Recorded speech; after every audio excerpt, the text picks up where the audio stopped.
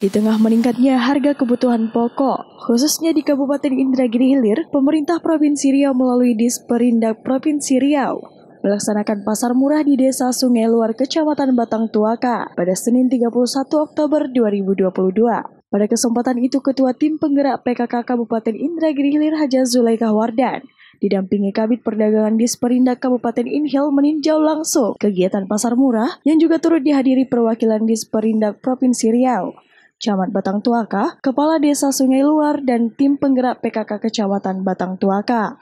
Kegiatan pasar murah sendiri dalam rangka stabilisasi harga barang kebutuhan pokok masyarakat, seperti beras, minyak goreng, telur, gula, dan tepung terigu. Yang hari ini kita lihat eh, banyak sekali warga masyarakat yang sudah memanfaatkan momen ini untuk eh, membeli barang-barang yang harganya jauh lebih murah ya daripada di pasaran.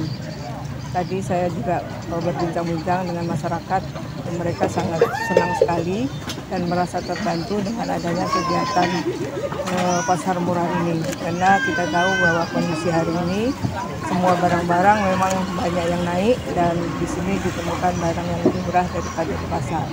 Alhamdulillah dalam waktu yang tidak begitu lama barangnya juga sudah habis dan e, nampaknya tidak ada lagi masyarakat yang berkunjung berarti mereka sudah bagian semua ya. Dari kalau tidak salah itu persediaan sampai 3, 3 ton untuk beras. Kemudian minyak, gula, tepung dan telur ya. Mereka semua e, habis semua. Alhamdulillah. Berarti ini adalah kegiatan uh, momen yang sangat ditunggu-tunggu oleh masyarakat. Mudah-mudahan nanti ada lagi mungkin di lokasi yang lain ya. Jadi bergantian terutama sekali di uh, Tembilahan ini masyarakat bisa memanfaatkan kegiatan ini. Setelah meninjau pasar murah, Haja Julai dan beserta rombongan berkesempatan meninjau lokasi jerambah di Desa Sungai Luar, Kecamatan Batang Tuaka. Randi Pradika Rian Hidayat melaporkan untuk Gemilang Televisi.